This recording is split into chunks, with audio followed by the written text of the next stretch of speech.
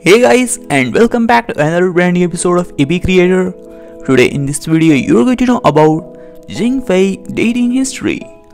Fair Jing is such a beautiful uh, and uh, perfect girl. There must be many special requirements for looking for a boyfriend.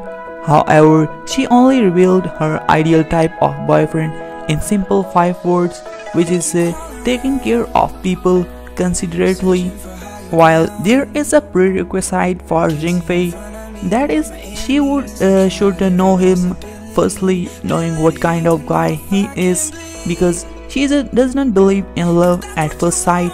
She prefers the kind of love that grows over time. Take a look at uh, Xing Fei's rumored boyfriends. Number one, Lee Hongyi.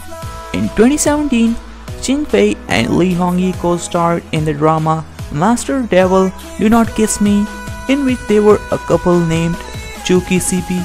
Uh, so there were rumors that he was Xing Fei's boyfriend and their wedding photos were even on the hot search, but uh, that was just a rumor.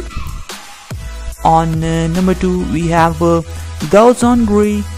Gao Zhongui and uh, Xing Fei were attractive CP in the grade 1 freshman However, the CP is set by the program team. Their uh, frequent interactions on the show made their rumors spread. Many netizens still hope that they could get together. On number 3, we have uh, Lin Yi.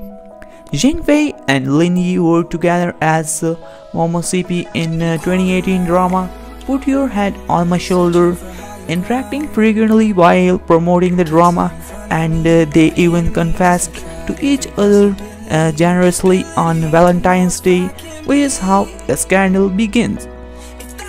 On uh, number 4 we have Daddy Tang. Xing Fei and Daddy Tang work together for the drama My Little Happiness in which they are also very sweet and have uh, been on the popular search many times.